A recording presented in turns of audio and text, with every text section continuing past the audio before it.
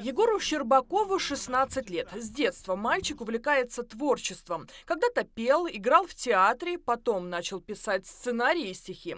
Это хобби осталось с молодым человеком и по сей день. Вообще Егор – личность разносторонняя. Изучает историю, занимается волонтерской деятельностью, состоит в молодой гвардии партии «Единая Россия». Мы помогаем в проведении мероприятиях игровых, массовых, то есть работаем с детьми по большей части – выезжаем на выездные мероприятия, помогаем пожилым людям, ветеранам войны. Когда вот помогаешь людям, становится так тепло на душе, и понимаешь, что, что все это не зря. И я считаю то, что творческие люди, вот волонтеры, творческие люди пришли в этот мир не зря. Они привлекают людей, так скажем, к моральным, духовным ценностям.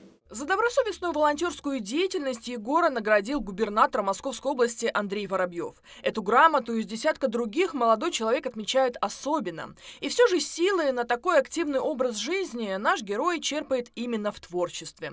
В апреле этого года Егор выступил на конкурсе «Зубовские чтения». Среди прочих наград – победа в специальной номинации «Видное ТВ».